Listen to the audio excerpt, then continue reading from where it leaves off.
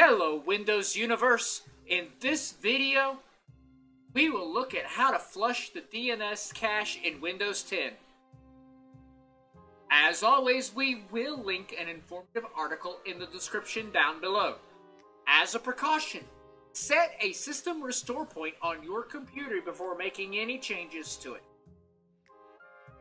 To begin, open a command prompt, run it as an administrator and type in IP C O N F I G space slash flush DNS and hit enter.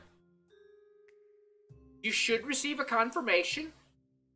Now, to visually verify that the DNS cache is indeed here, you can type in IP C O N F I G space slash display DNS. Display DNS all as one word and hit enter. If anything shows up, then you might have to flush it again.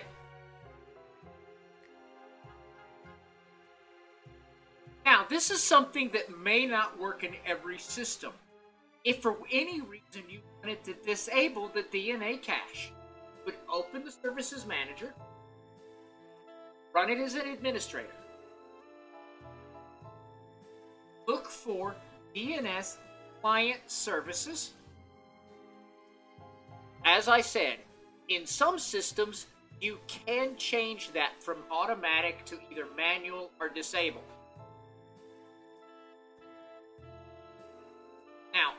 If you do do that, doing so will make DNS lookups take longer. Now, if you wanted to do all of this in a couple clicks, then you can download and install our freeware app FixWin. We did a video on it and we will link it in the description down below. And for more fixes on Windows errors, go to our website, thewindowsclub.com. While you're at it, give our video a thumbs up and subscribe to our channel.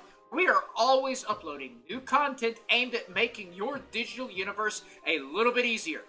Thanks for watching and have a great day.